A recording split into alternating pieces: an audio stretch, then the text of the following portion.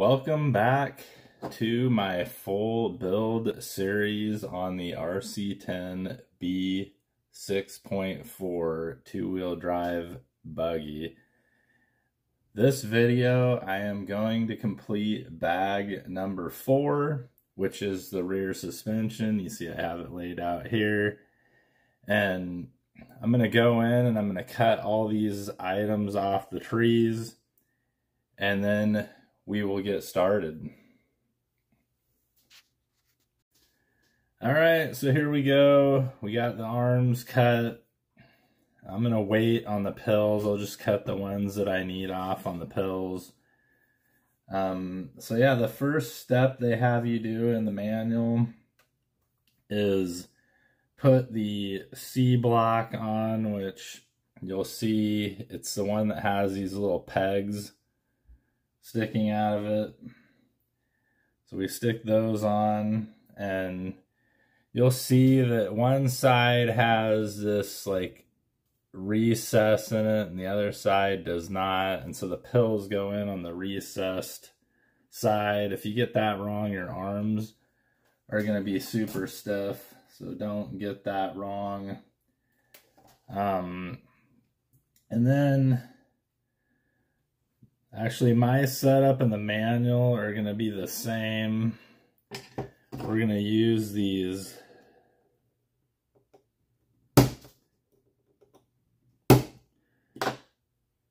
the one dot to the side, number one, which is for one degree. Um, and those are going to point, I'll show you on here, but they're going to point out You got to make sure that you make these a mirror image. We just pop these in. Make sure you get them in all the way. So you can see here now. Hopefully you can see that, but it's the one dot out. So then we stick this on the car like so. And we're going to come in here and put thread lock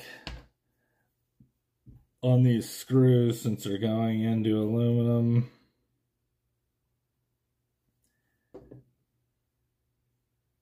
Like that.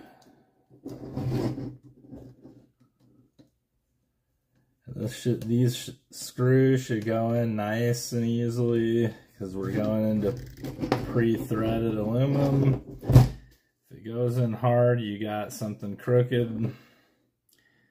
Okay, find if you back off a little when that happens. You can normally click into a thread.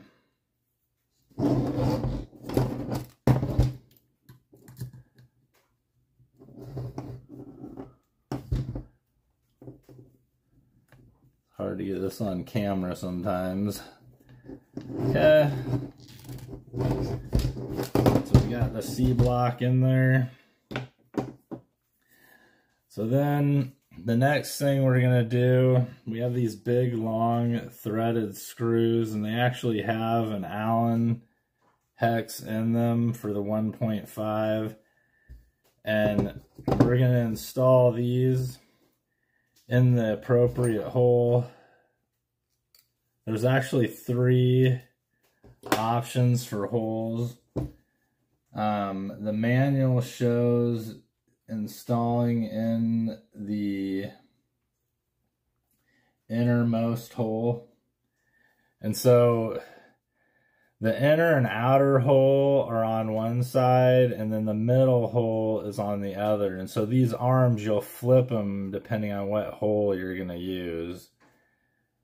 Um, but for the manual setup, you're going to use the two holes, and uh, as it turns out, I'm going to be using the same one. It's labeled as A on the setup sheet, but it's this innermost hole. And so we're going to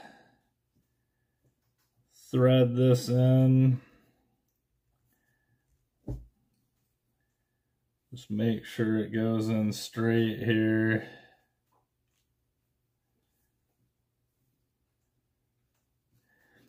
And I've never used this style. I, I like this setup though because you don't have to take screws in and out of your arms, which is nice.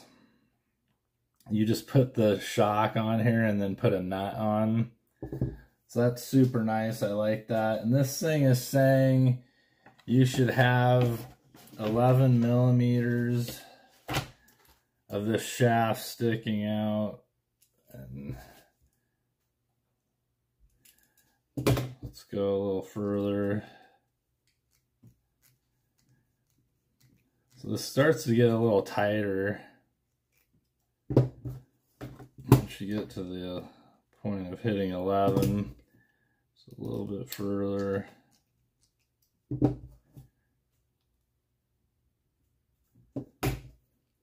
You could also pre-mark this with like a Sharpie. It'd probably make this a little easier, but okay, so we get 11 there. You're going to do the same thing with this one and make sure you do it in the same hole.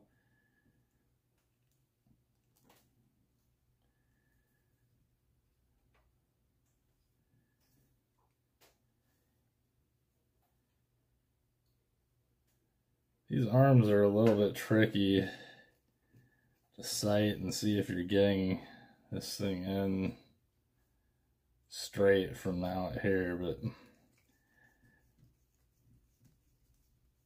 but yeah, um, so, you know, the thing with this setup is it's, this screw is just held in by friction and when you take those nuts in and out, in theory it could, it probably won't, but it could loosen this screw. And if you find that happening, you can drop a little bit of CA to secure these. And the manual mentions that actually.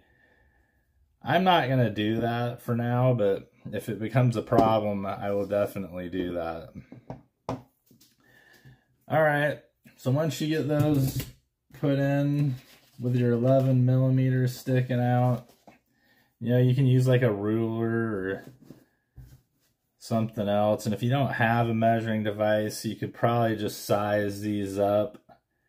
Um, once you put the shocks on, you know, you just want to have a little bit of thread protrusion when you put the nut on the shock. So you can just do it that way if you don't have that. All right, so the next step here is to put these arms on the car and I like to make sure these hinge pins are smooth and if they aren't sometimes you have to clean out these holes but both of mine look really good. So then we're to stick these arms on the car like so and these shock standoffs point forward. You can actually build the car with shocks on the aft of the arm or forward of the arm but the stock setup and what I'm going to be doing is forward of the arm. And then there's these wheelbase shims and um, yeah, they're arm spacing. So the stock setup is arms back. So we're going to stick these on the forward side here to get arms back. And we'll do the same with this one.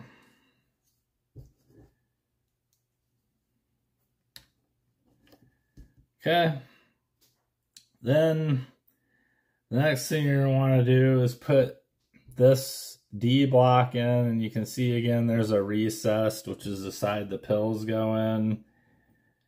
Um, and then there's a little cutout on the bottom which is for this bumper to get inserted. The bumper goes in like that. Um, and then so for pills, I'm going to be doing the five dot down. So it's the half a degree down.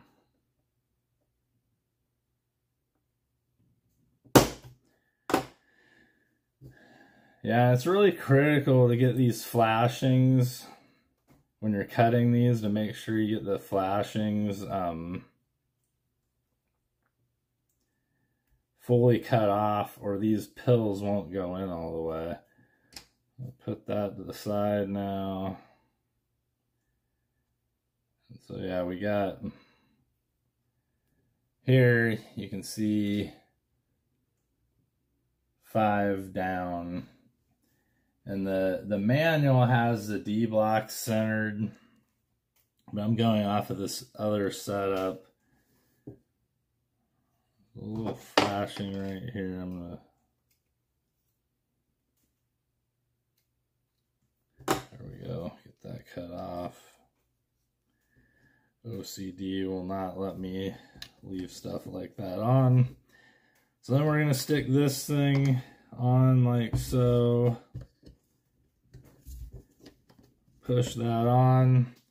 And the bumper will go in, but they actually have you install the screws that hold this D block in later because the gearbox, the screws come up and go into the gearbox. So I'm just going to set this bumper aside until we get to that step. And we'll install that later. Anyway, that was a short video, but that wraps up bag four, and I hope you found this video useful, and if you did, please like and subscribe.